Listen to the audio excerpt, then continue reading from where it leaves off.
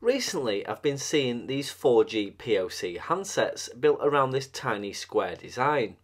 There's also a small AM FM receiver built around a similar shell too, but today I want to show you the TXQ offering built around a similar design, and that is the G63.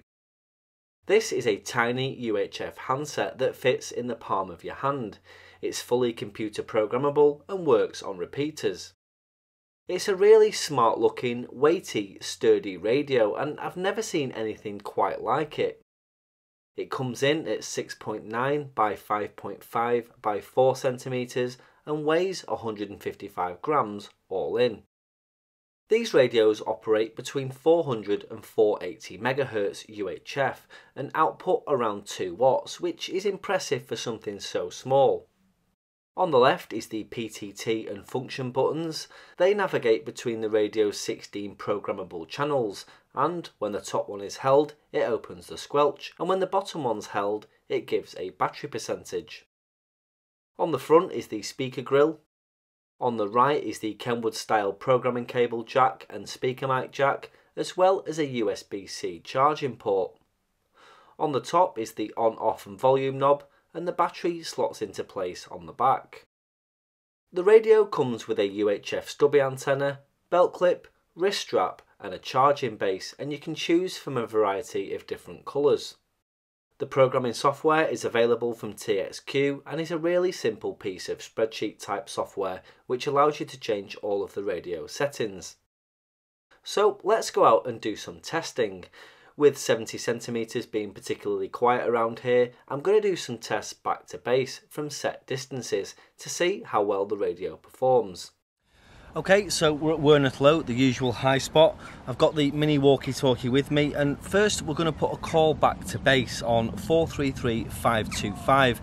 That's about two miles over in that direction. There is a little bit of land between us, um, but I'm hoping on the 2 watt output power on this radio that we'll make the trip back to base. So here we go.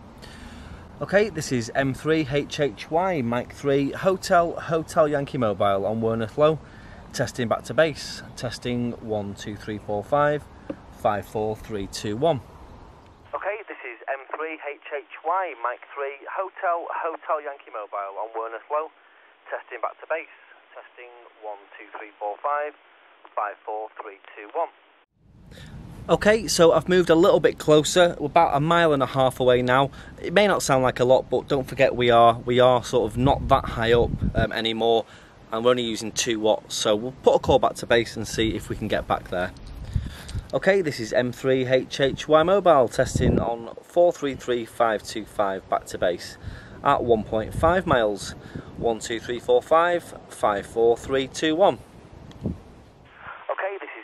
HHY Mobile testing on 433525 back to base at 1.5 miles. 12345 54321. Okay, so we're about a mile away from the home QTH now, so this should be a, an easy trip back for this uh, for this radio. So here we go. Okay, this is M3HHY Mobile testing on 433525. Testing 12345 54321 at around a mile. Okay, this is M3HHY Mobile testing on 433525. Testing 12345 54321 at around a mile. Okay, and lastly, we're around half a mile now, so we'll just put one last call out and see how we do.